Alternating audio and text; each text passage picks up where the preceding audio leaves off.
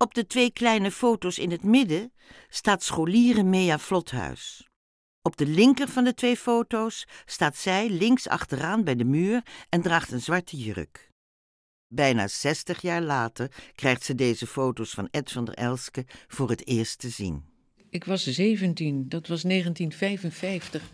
Ik weet waarachtig niet wat wij toen aan het doen waren.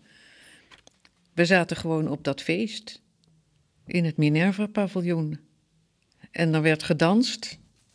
De kleine foto linksmidden. Helemaal links, dat ben ik. Met een beetje strakke blik naar de lens, of net ernaast. En het meisje daar schuin voor is mijn zusje Lucie Vlothuis. Zaterdag 3 september 1955. Johan geeft in december een fotoboek uit onder protectie van de fotograaf van der Elsken, getiteld Wij zijn 17. Carl is er helemaal niet over te spreken en vertelde me dat er een van de foto's in komt die Johan in de tijd, in de tijd van mij gemaakt heeft. Het kan me weinig schelen. Verder foto's van de Apolle, Lucette, Carl, Giel, IJsbrand, Chris, etc. Ook Marianne Carmichelt. Haar vader schrijft een mooi voorwoordje. Johan was mijn rivaal op school.